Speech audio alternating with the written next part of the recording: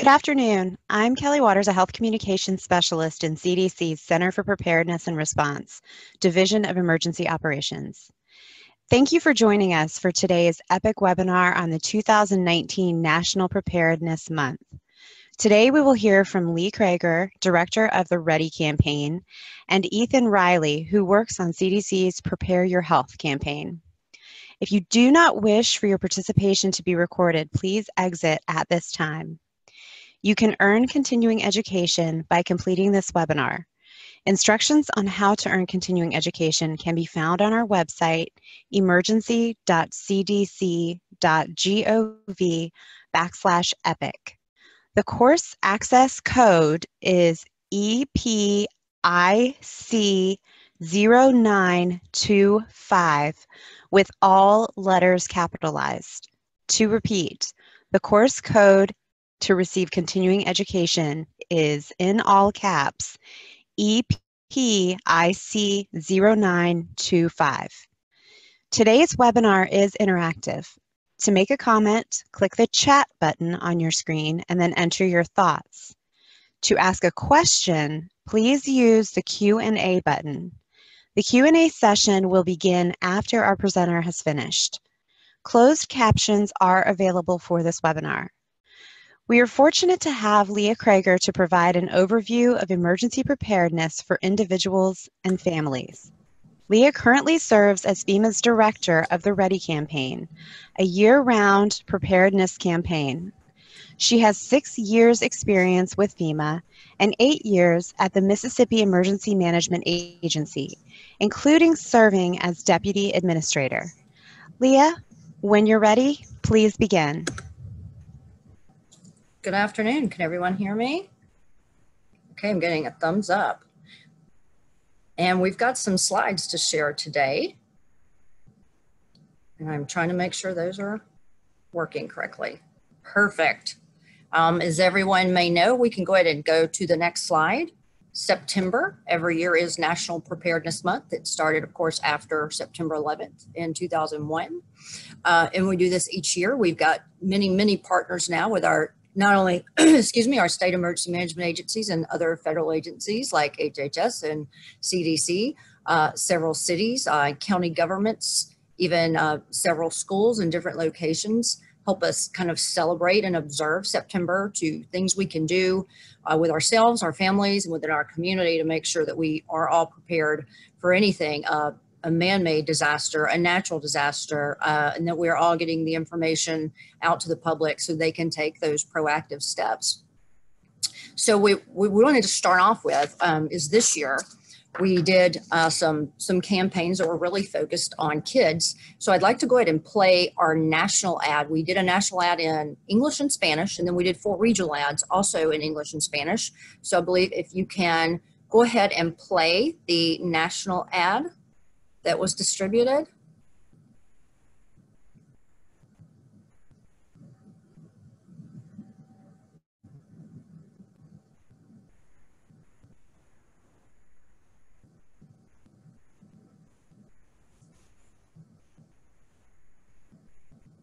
Okay, he's saying it's just taking a second to get the ad queued up.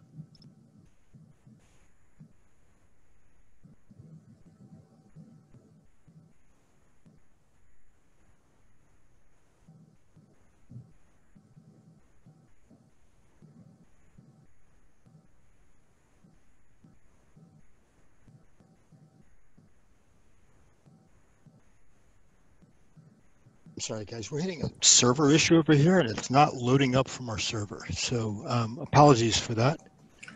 It's quite all right. I can um, talk around it a little bit and talk about the ad and if it manages to load. So we, we went with our theme this year um, and some of our partners internally uh, for child preparedness and, and preparing our kids and, and youth. And it wasn't just about for any big major event like a hurricane or a tornado. It was letting children be able to handle kind of anything that happens. So if they return home from school and there's a power outage, um, just that you could talk to your kids and your kids would be ready for little things. And that also helps them be more prepared for the larger things that can occur. Uh, so when we, okay, I think our ad is pulling up. So I will stop if we're able to run.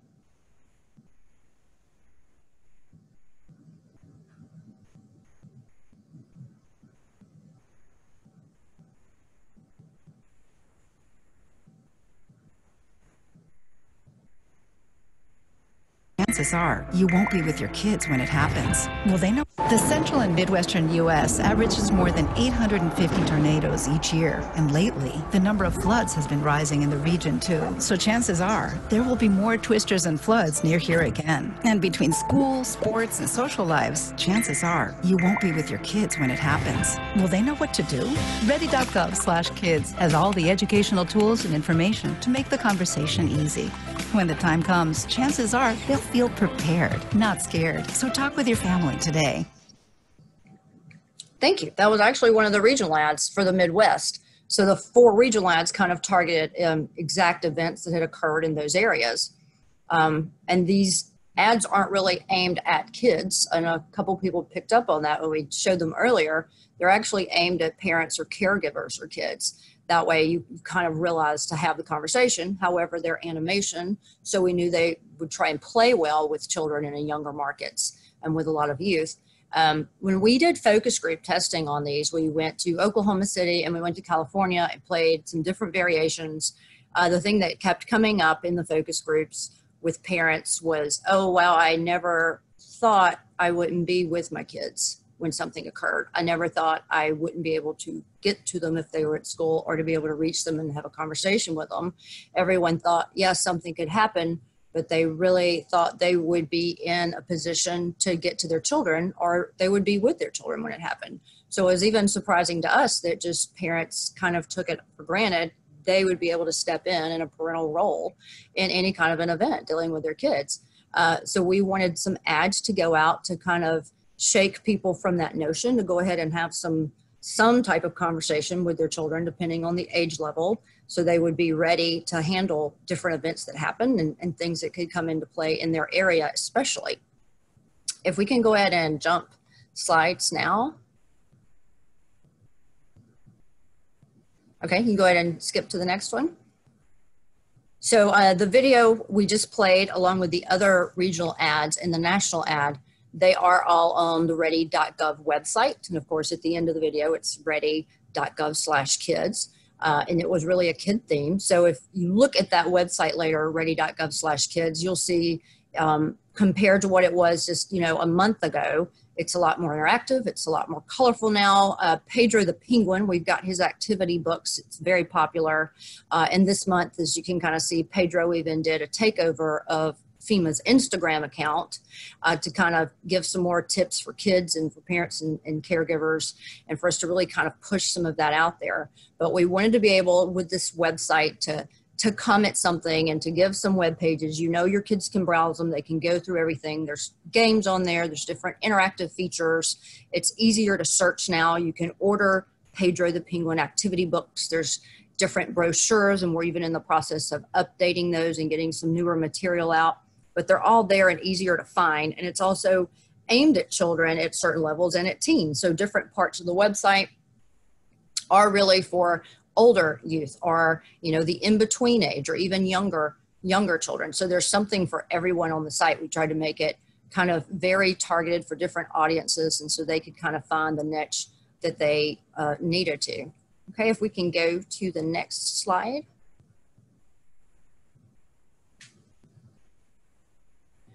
And so if you want to click on these, this will take you actually to the new uh, redesigned web pages we launched this month for September, the ready.gov kids. Or do I?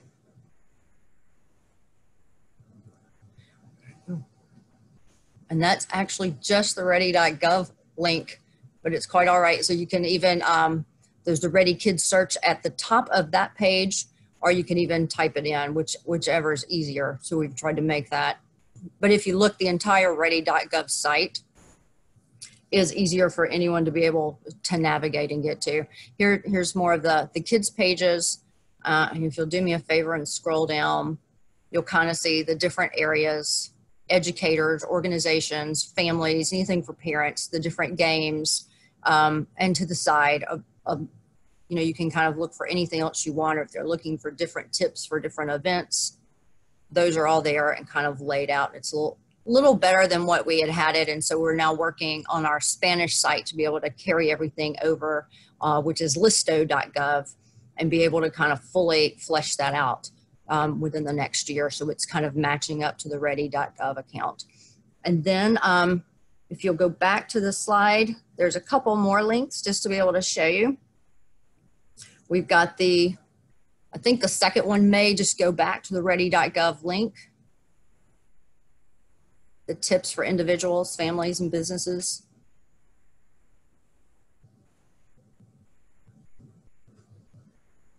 Okay, and the financial preparedness. Uh, and we did have uh, four different themes during the month, of course. Uh, the first week was financial preparedness. Um, we had we activated for tropical storm and hurricane dorian earlier this month so we had to reschedule our financial webinar. So that is now rescheduled for monday september 30th so we've got some information about how you can register for that. Uh, since some of the stuff the first week of september was kind of delayed but we work with a lot of our, our partner organizations I am one thing that our former administrator and our current acting administrator had, had really hit on, especially after the 2017 hurricane season, was uh, so many families just don't have any type of a savings account or anything even to cover their insurance deductibles or any other small emergency that could happen. So we're really taking it on, uh, especially with week one, to really strive to people to be able to put some money aside and be able to to handle small emergencies and things that you need. Um, and for those of you who are interested, if you go back to the slide, our last link kind of shows you the toolkits and the social media items that you can use during September or your organization can use. We do try to keep some up-to-date toolkits online all the time, depending on what the event is for winter weather, hurricanes, thunderstorms, flooding. You'll see there's different preparedness campaign toolkits uh, life saving kits. Uh, if there's anything you need that we're lacking or something that should be updated, feel free to reach out to us um, because we are trying to update things with some better graphics, of course, because stuff just becomes dated over time. And so we're doing a revamp now from when the Ready campaign started um, about 15 years ago with the Ad Council and looking over some of those videos and some of the stuff to kind of update bring it more in line with what people are requesting and to make sure we've got the good graphics and, and items that are going to help people get the information they need. Uh, and so last, we've got another one of our videos that's also online. We've got on the ready.gov site, you can reach all the videos and especially we've got them in different formats, the 15, 30, and 60 seconds. So this is another one that we did that we think is just kind of useful for everyone to be able um, in your organizations to use about building a disaster kit. Being prepared is a part of who you are. But it's especially important in the case of a disaster. It's up to everyone to build a kit that contains the things you need to survive food and water, medication and supplies, as well as any important documents you may need. There's no one more capable of planning for your situation than you. Be informed, make a plan, build a kit, Get involved. Visit ready.gov slash myplan.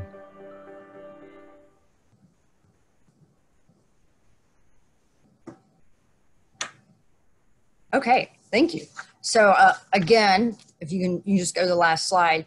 On ready.gov, you can even type, type in at the top for videos and you'll see all of the ad videos if you need a clean copy or version to download, Ad Council did produce all these for us. So if you go to the Ad Council's website, you can type in emergency preparedness videos and it's where you can download them download for like network quality if you need to, to be able to replay them for someone but several of the videos are in english and in spanish uh, and we still have a lot of different language language options online besides those two languages just for your normal preparedness information so that is all I've got to present. We can take questions or move on with Jonathan Ethan.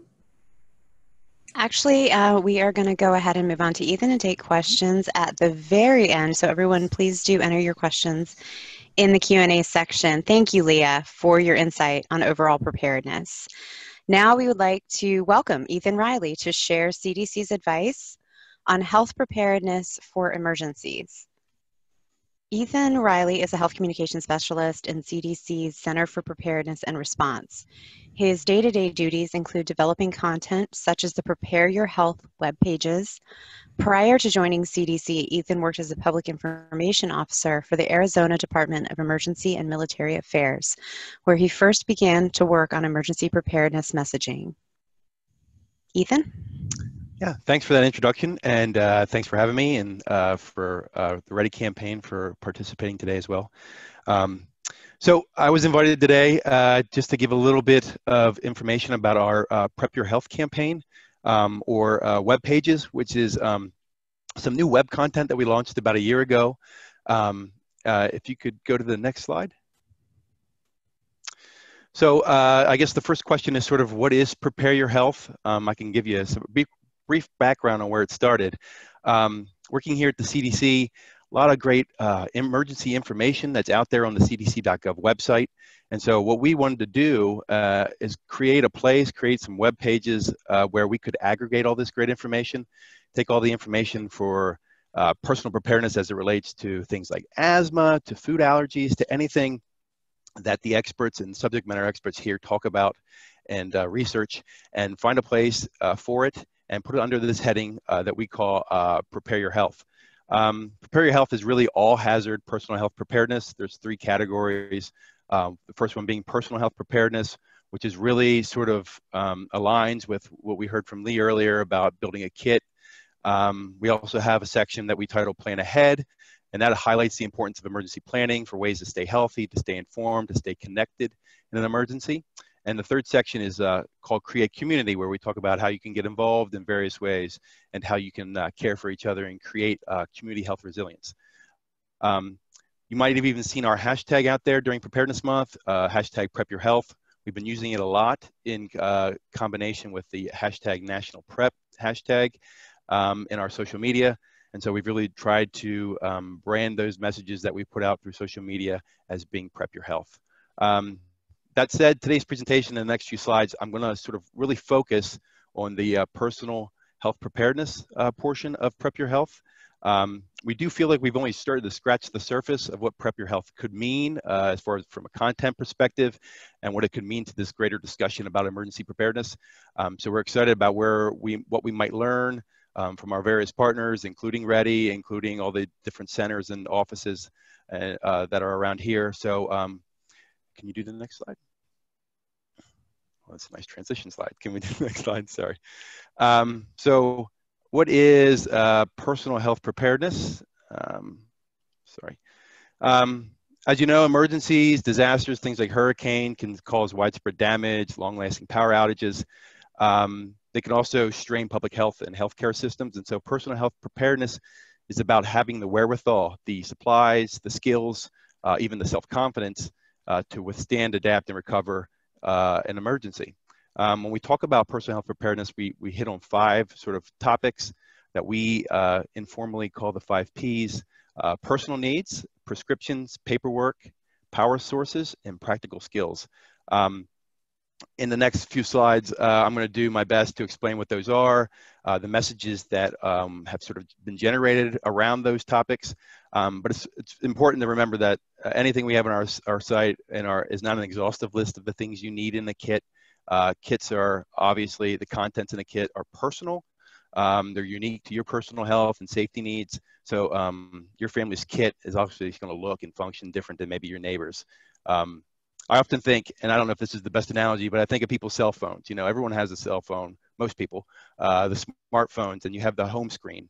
Um, I, I know that I've looked at my friends' home screens and they look different than mine. Um, I have a friend that, uh, you know, um, has a disability and needs to use it with one hand. So the way it's even arranged, his home screen and the apps he uses and chooses are very unique to him. Um, so I don't know if that's a great analogy, but it's an analogy that I, I, sometimes think about when I'm thinking about what goes in a kit. There's no necessarily right or wrong answers to that.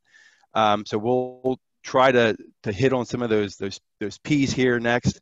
And um, I think we're ready for the next slide. Yeah. So personal needs, as I mentioned, these are the things, the stuff you need to protect your family's health in an emergency. Um, it's a long, long list. Uh, it all really starts with the, the food and the safe water, um, those basic supplies that uh, should be in a kit. Um, but when we talk about personal needs from that uh, prep your health perspective, um, we're also including those your home use medical devices and assistive technologies, contact lenses, uh, hearing aids, um, talking about medical supplies, um, syringes, blood test strips, and antibacterial wipes, uh, and also uh, first aid supplies, um, your waterproof bandages, tweezers and scissors, uh, first aid reference guide. Uh, the list really goes on and on as far as personal needs. Um, you know best what your personal needs are going to be in an emergency, uh, leading up to an emergency and in the immediate um, response to it. So um, you're the best person to know what your personal needs are.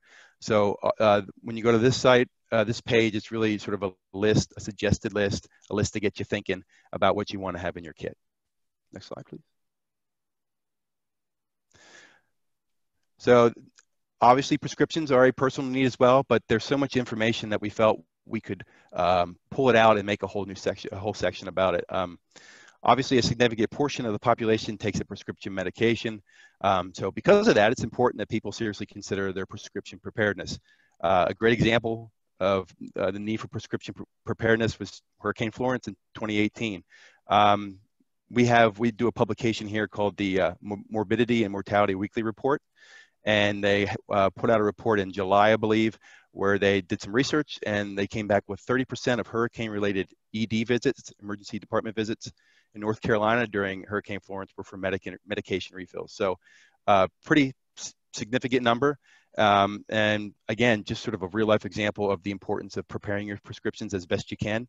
Um, as best you can includes talking to your doctor about how you might create an emergency supply. We know it's tough to do that sort of thing. Um, but having that conversation with your doctor and, and or your pharmacist is a good place to start. Um, also, the importance of making a list of your prescription and medical supply needs. There is a organization that we that we sometimes work with. We've written, written blogs with. Um, Healthcare Ready has a great resource. It's something called they call it RX on the Run. It's a wallet card that you could go to their website uh, and uh, fill out, and it it helps you print out a card that you can then stick in your wallet. It's got places that you can put information about your actual prescription, details about your prescription, contact information for your doctors and pharmacists, information about your allergies, any known, med- uh, any known allergies and your medical conditions. It's really just a tool, a great way to, to get you organized and get you thinking and have that on you, slip it in your wallet or um, your purse or whatever you may use uh, and, and have it on you. Um, Another important thing uh, is to get to know your emergency prescription laws, um, prescription refill laws, I should say. Uh, we've recently published a blog about this, a blog post about this to the Public Health Matters blog. Um, and some people may, may or may not know that uh, states have, some states have emergency prescription refill laws. They do vary by state, um, but some states do permit pharmacists to dispense early refills of certain med medications under an emergency declaration. So um, if you lived in a county that was under an emergency declaration for an emergency, a, a hurricane, for example, um, you may be able to go to your pharmacist and uh, work with them, and they would be able to give you a, a, a an early refill. Um, it's, it's, an important little thing to know uh, because it does vary by state. It's very important that you that you reach out and uh, talk to your state public health department to learn more about the laws where you live. Um, like I said, we originally published a post that talks a little bit more about this. Um, but you know, it's it's important to know these sorts of things and then ask the questions. Um, next slide. Uh, paperwork. Uh, it's what do we mean by important paperwork? It may differ, obviously. Uh, what we mean by it are the hard copies and digital documents and data that could help you prove your medical coverage, ownership, your identity, uh, or even just help protect your health in an emergency. Um, your health insurance cards, uh, personal care plans. By those, um, again, this is where we learned a lot working with other centers here at CDC. Uh, the importance of having asthma action plans, the importance of having food allergy action plans, uh, cancer survivorship care plans, all these plans that you may have that would make a great addition to your emergency kit um, that can help you, eh, obviously, in an emergency. Um, also, vital records. Uh, there's birth, birth and death certificates. Uh, again, to reference the, the, the, Public Health Matters blog, we recently published a, a post uh, where we talk about the work the CDC is doing to improve uh, the types of information that is recording on death certificates um, so that it can help uh, investigators make the right connections, improve public health surveillance. Um, so there is some work being done to improve the collection and analysis of that information. Uh, again, that's that's on the blog that you can get to. Actually, I should give the website. If you went to cdc.gov slash CPR, that's where you can find links to that. Uh, next slide. Power sources. Okay. Um, so obviously, power sources are pretty common after an emerg- a disaster. Uh, on average, I think people experience something like four hours of power loss each each year. Um, with a, a, large scale emergency, obviously power power outages can could last longer, and as a result, for some people, they could become life threatening, especially if, if it's some if you're someone who depends on a uh, home use medical device. Um, so we just feel it's important that uh, people prepare to be without electricity for uh, for a few days.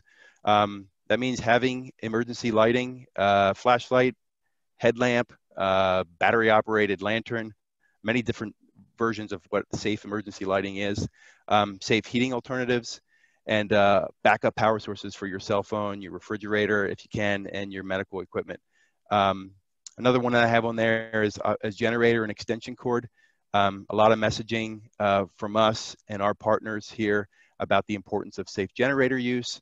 Um, the reason for the extension cord is uh, they recommend uh, 20 feet away from your home from any doors, windows, and vents. So that extension cord is just as important as having the generator.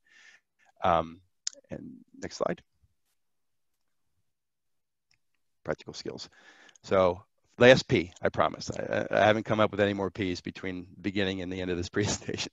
Um, this is practical skills. Uh, when we talk about practical skills, we are talking about the, the things you can do uh, prior to an emergency that have nothing to do with supplies. These are things, skills, lessons you can learn, um, lessons and skills you can learn and teach others, share with others, and some of them practice every day to prep your health to get prepared for an emergency. Um, it's a wide-ranging category, um, includes life-saving skills, things like CPR, learning how to do abdominal thrusts, um, but the, the list goes really long and on, long on and on. I'm sorry. Um, basic swimming skills, uh, how to use a fire extinguisher, uh, how to use an asthma inhaler, um, the proper way or the effective way to wash your hands. Uh, many diseases and conditions are spread uh, by not washing hands with soap and uh, clean running water. Um, how do you read food labels if someone in your family has food food allergy? It's important to know how to read those labels. Uh, seizure first aid. And again, like I mentioned, uh, safe generator use. Um, just to go back to the generator thing, um, it's, it's a big one. Uh, unintentional, uh, non, non-fire related carbon monoxide poisoning takes the lives of about 430 people, sends another 50,000 to the emergency departments in the US every year. So um, it's important when it's not an emergency. Uh, when it is an emergency, there's something happening, uh, occurrences uh, can spike. Um, in fact, to go back to that that uh, that report I mentioned, uh, MMWR uh, report that comes out, um, they had a report after Hurricane Irma in 2017 that there 16 of the 129 deaths in uh, the states of Florida, Georgia, and North Carolina were uh, CO poisonings. So um, it is an report message. It's one we, we try to put out uh, as often as possible through our social media channels and other channels. So that's the last P. Next slide. Um, what we did for Preparedness Month was a little different. Uh, that wasn't a traditional campaign. Um, we've tried to do that, uh, tr traditional campaigns, uh, social media based, uh, that were over the last two years because of the hurricanes and the activations that happened at the EOC were sort of uh, were interrupted. Uh, we just couldn't follow through with them. So um, we decided this year to put the power or empower our partners to give the tools uh, to have a preparedness month campaign to our partners. And so we designed a, a digital media toolkit. I know FEMA showed uh, a great list of their toolkits. This was our first, and it was on the topic of personal health preparedness, so the five Ps that just went over. Um, you can get a link, you can link to the toolkit again from our, our webpage, cdc.gov slash CPR. Um, the toolkit includes sample social media messages, pre-sized graphics. By that I mean graphics sized uh, as perfect as we could get them to, to fit in your Twitter feeds and on your Facebook uh, Facebook feeds. Um, we had example blog posts and newsletter blurbs. And what we really wanted to do, and we really worked hard at, was uh, just bringing it to people's attention, uh, sharing it with state and local health departments every opportunity we could. Um, and it was really designed with them in mind, but we encourage everyone to use it. Um, we know that you know health, local health departments. I come from a, a local background. Uh, we know that sometimes, or I know I can empathize that there's sometimes limited bandwidth, uh, the ability to create social media messages and, and graphics that are just sized right uh, can be difficult. We know that um, a lot of health departments uh, do participate in Preparedness Month, but um, I don't know that we've, you know, there's always been a whole lot of really health focused content that they could share during the month. Um, and the neat thing about the toolkit is that the information that's on there is evergreen. So it's not something that you can just, that's just for preparedness month. It's content that you can use year round to talk about how to prep your health, about personal health preparedness. Um, all the materials are free to download, free to copy and paste. Um, they're optimized from web, like I said, and they're, they're ready to plug and play. Next slide. So just one more, one more comment about the toolkit. Um, like I said, this was our first. So uh, if you're a sort of a, a, design thinking student or a student of design thinking, this was sort of a, a minimal viable product, meaning it was a, something that had features that we knew that uh, our partners would like, but um, it's really meant to have feedback. Uh, it's really meant to start a conversation, and that's what we'll be doing next, is having a hot wash, talking more about the toolkit with our partners, again, particularly the state and local health departments. How can we improve the content? How can we uh, better the resources that we're offering? How can we bring it to more people's attention? Um, you know, one thing that we've already talked about and we didn't get to till later is syndicating the toolkit so that uh, you could actually copy it to your web page and then um, anytime we made updates to it, say add a new uh, a GIF, it would uh, update uh, on our whoever syndicated the content. So um, we are thinking ahead. Other topics, as I mentioned, Prep Your Health is more about is not just personal health preparedness. It's also planning ahead and creating community. So we're already looking at the types of toolkits we can create around those things, those topics. Um, and that, I believe, is the end of my presentation. Thank you. Thank you, Ethan. We will now transition to our Q&A session. Don't forget if you have a question to enter it into the Q&A section. Jonathan, can you read the first question? There we go. I can. Actually, the first question is going to come from me. The first two questions. These are things we kind of anticipated might be a concern for our audience. Um, so over the weekend, I worked on a preparedness kit and I wound up spending more than I was expecting. Is there a concern that if people wait until the last minute before a storm or a snowfall, they might not have enough money to be fully prepared? Yes, it's not just a, a possibility, it's reality, and it's happened several times. Um, I remember Hurricane Katrina hit basically at the end of the month. And a lot of people, you know, were waiting on their checks. They received it the first of the month and didn't have money to evacuate the Mississippi Gulf Coast or things to buy that they needed to stock up on. So what we tell people now is it, you don't have to go out and buy everything all encompassing today.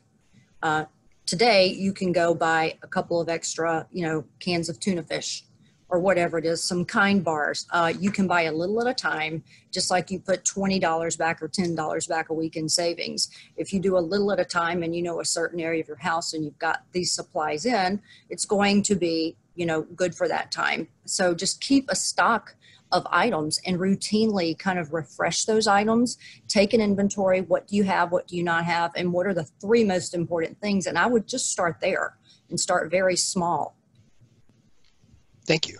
Um, my next question, also for me, um, is uh, many people in our audience are in a position to encourage others to practice preparedness. So, what advice can you offer for effectively encouraging people to get prepared to kind of increase the rate at which people are willing to take action? Sure, I think it goes back to the videos where we're discussing with the kids um, that you know, so many hurricanes or floods have happened in your area, so many tornadoes, so many ice storms that these things aren't just fake or myth, that these really happen. So, what does happen in your area? And the best way to kind of understand that and understand how to get involved is what, what is going around in your community. And if you never have before, take a CPR class, take a first aid class. Um, there's several of those around, they don't cost anything. And just kind of make it your goal the same way you're going to look at, you know, what do I need to have in my home? Is my insurance up to date? Uh, really kind of take inventory. It really doesn't take 15 minutes to sit down with your family to kind of do something, to have a little conversation, to get things started. And after that, it really becomes kind of routine and it's easy to do. And you don't have to take that one huge weekend or week out of a year and do a ton of things. Just have the conversations. What's in your community? Or what groups do you need? Or, you know, you can even start with do you have a neighbor with a disability and how could you help out with them if they needed it? Thank you. Um, in addition to that, next month's webinar will be about overcoming message resistance. So anyone here, if you get the chance to tune into the October uh, EPIC webinar, please do. Um, so I'm going to go to the audience questions now. We have a couple of questions um, for people who are looking to use some of these um, ads that encourage preparedness, and they're concerned that English and Spanish is great, but they would like to have it in more languages as well. Recognizing that that's, you know, there's a, there's a point where it's hard to get them made. Is there any future for um, possibly having some additional languages or is there an alternative for people who are looking to communicate in very specific, less common languages in the United States? Yes, and we have more languages on ready.gov with just some simple um, information and statistics. We don't have the videos yet, but yeah, that's always a, a possibility as we're looking at different regions of the country. And I would even start with your local emergency management agency or your state. Is there a pocket of people or a group of people with some language barrier and that helps? And I'd start there to see what resources are there or what we need to make or translate and they can work with us. But there's lots of resources out there and a lot of things. So um, I would start with, you know, helping identify those areas and making sure first the local and state emergency management agencies understand those areas uh, in that community and that they can make sure they're getting the resources they need to start with. Thank you. Ethan, I'm going to read two questions in a row. They're both related to prescription medications and will probably be relevant for you. Um, the first one is from Teresa, who asks um, about recommendations regarding extra supplies, medications, devices, etc., when insurance will only co cover certain amounts at a time.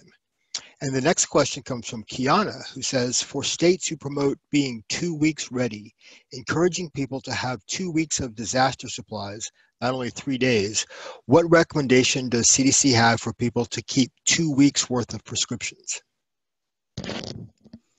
Yeah, thanks for the question. I, I think, you know, we are in our content regarding prescriptions, um, we think it actually uh, absolutely has to begin with a conversation between you and your doctor and your and your pharmacist. Um, we understand that it, it's really difficult to try, try and create a, uh, a stockpile of prescriptions, uh, as, as, the, uh, the, the questioner mentioned, for three days, let alone two weeks. So it has to begin uh, as a conversation between your doctor, your pharmacist, and possibly even your uh, your insurance provider. Um, you know, the other big message, and I it, I mentioned it in my slides, is the importance of, you know, learning more about what your state emergency refill laws are um, for things like a hurricane where there is some advance notice. Um, you and the state declares an emergency, and again, the laws vary by state.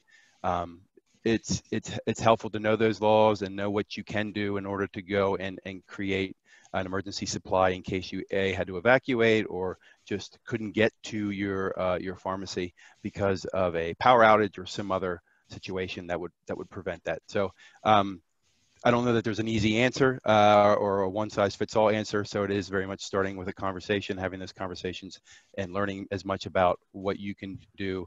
Um, you know, even from again the state laws uh, as possible. Thank you. KC asks, is it a good idea to upload your digital records to Google Drive or other cloud storage? I do have several items uploaded onto a cloud. I just say uh, be really cognizant of what material you have uploaded. Uh, what do you need to get to quickly uh, and fast? What do you really need in a hard document? And what do you need on thumb drives? Um, you probably don't need everything in a cloud, but I absolutely have things in a cloud. I think it's one of the best resources we have right now uh, to be able to, to get to things remotely and where we would need them. And we just didn't have that capability 15 years ago when something would hit or if a home was destroyed, people just lost. Uh, I know thousands of people who just lost all their important records. So it's a conversation we don't have that much anymore because of all the digital resources we have with us today. Thank you. Um, Daniel Shaneholtz asks, is there a downloadable medication card with blood type specificity on the website.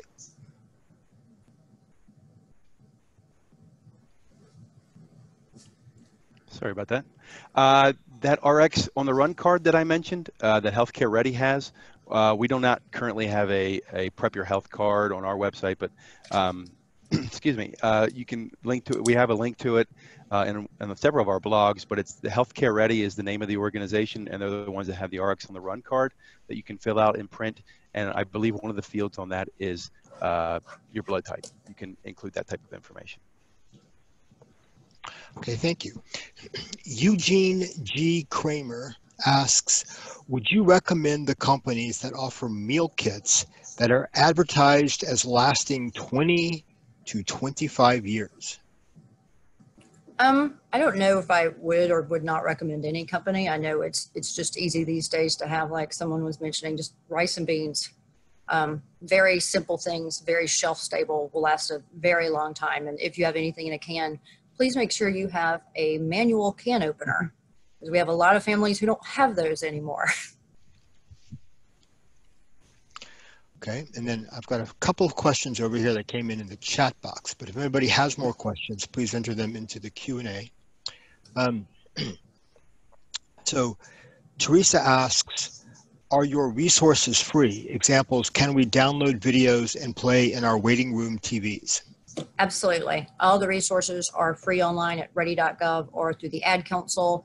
And there's also several printed brochures, materials that you can go to our warehouse, order them, and have them sent. And you can have all types of resources in in your waiting rooms. And please play all those videos. That's exactly what we make them for. They're free. Use them over and over. Thank you.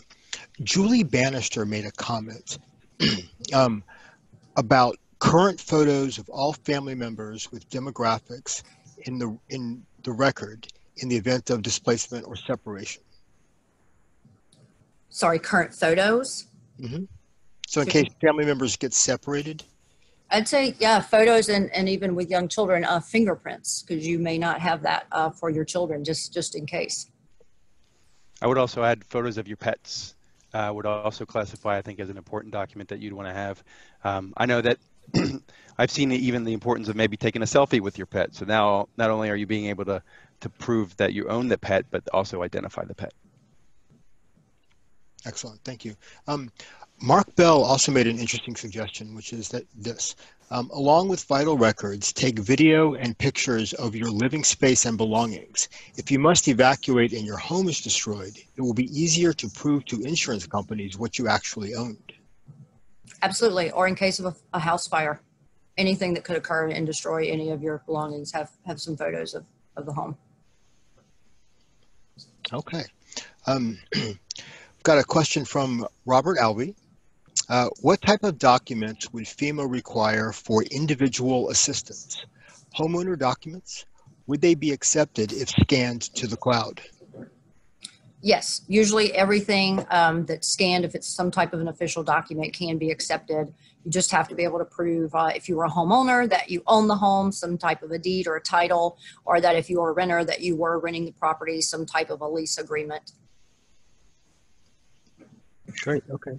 And it looks like we're um, out of questions here. I'm going to close with uh, one comment from Dennis, who suggested that perhaps next year we should hold this webinar in August so that the content can be used for others to do their promotional work during National Preparedness Month. Thank you, Dennis. That'd be, that'd be great. Thanks, Dennis. Thank you to our presenters and thank you to everyone who joined us today for the webinar. If you do have additional questions, um, if you think of something after we have all logged off, you can email them to epic, E-P-I-C, at cdc.gov.